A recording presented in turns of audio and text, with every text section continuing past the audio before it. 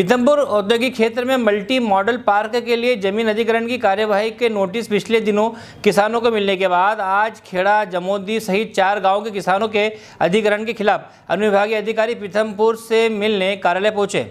किसानों की मांग थी कि अधिग्रहण के समय हमें मुआवजा 2013 की गाइडलाइन से देने की बात कही जा रही है, जो सरासर गलत है। 2013 के बाद सरकार ने हमारे गाँव की गाइडलाइन नहीं बढ़ाई है। हम सभी इस कारण हमारी उपजाऊ ज़मीन नहीं देना चाहते। वहीं अनुविभागीय अधिकारी रोशनी पाटीदार ने बताया कि चार गाँव के किसान अपनी समस्या लेकर कार्यालय पर आए थे। किसानों का कहना है गाइडलाइन संशोधन की मांग की है। हमने आश्वासन दिया है कि आपकी बात हम उच्च अधिकारियों तक पहुँचाएँगे। वहीं किसानों की एक मांग ये भी है कि अधिकरण के बाद किसानों के बच्चों को कारखानों में नौकरी दी जाए उस मामले में हम सर्वे करवाने का सोच रहे हैं। इसके बाद पात्र सदस्यों को नौकरी हेतु उद्योगपतियों के साथ चर्चा कर संभव हो सके लोगों को रोज़गार की उपलब्ध कराने का प्रयास करेंगे। पीतमपुर से संजय सोनकला की रिपोर्ट। बताएँ आप एसडीएम ऑफ़िस क्यों आए? आज हम सब किसान इकट्ठा होकर एसडीएम ऑफ़िस आए कि हमारी ज़मीन की सत्ताईस पाँच दो हज़ार बाईस को नोटिस मिला हमको। कि आपकी ज़मीन अधिकृत होगी। ज़मीन अधिकृत हो रही है वो ठीक है लेकिन ज़मीन का मुआवजा हमको सही नहीं मिल रहा है जो हमको वर्तमान में मालूम हुआ उस हिसाब से। तो एस मैडम से हमने गुहार लगाई है कि हमारी जो वर्तमान गाइडलाइन है उस हिसाब से मुआवजा दिया जाए और हमारी जो जो समस्या है पाँच साल से गाइडलाइन वेंट है। गाइडलाइन नहीं बढ़ी गवर्नमेंट ने? तो वर्तमान के हिसाब से मुआवजा दिया है और जो भी हम बहुत से हमने उस पर दिया ज्ञापन में। आपका नाम और बद्रीलाल रघुवंशी गाँव। गाँव खेड़ा।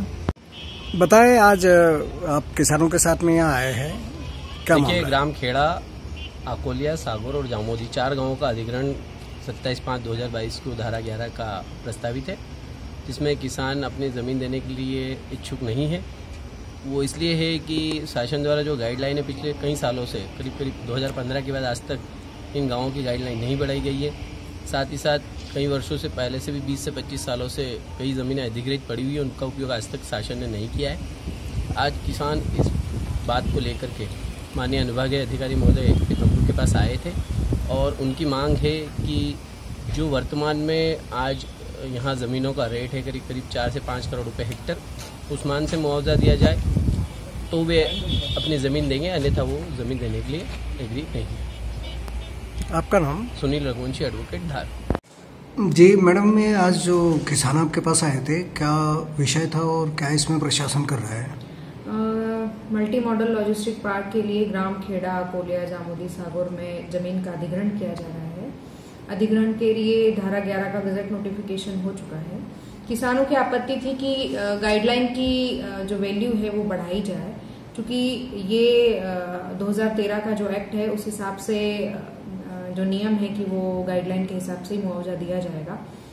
तो ये आपत्ति थी कि गाइडलाइन बढ़ाई जाए इसके लिए हम प्रस्ताव ज़िले में भेजते हैं। मैडम उनका ये भी कहना था कि किसानों की ज़मीन लेने के बाद में इंडस्ट्रीज़ के अंदर उनके किसानों के बच्चों को नहीं लिया जाता है काम पे तो इस पर क्या विचार किया आपने? इसका हम एक सर्वे करा कराएँगे अध्ययन करेंगे और कोशिश करेंगे कि यहाँ इतनी सारी इंडस्ट्रीज़ हैं तो रोज़गार हम दिला सकें। आपका नाम पद बता मेरा नाम Roshni Patidar S D thank you hello friends आप देख रहे हैं हमारा channel S W twenty four news हमारे सारे वीडियो सबसे पहले देखने के लिए आप हमारे चैनल को सब्सक्राइब करें और पास में लगे बेल आइकन को दबाना बिल्कुल भी ना भूलें।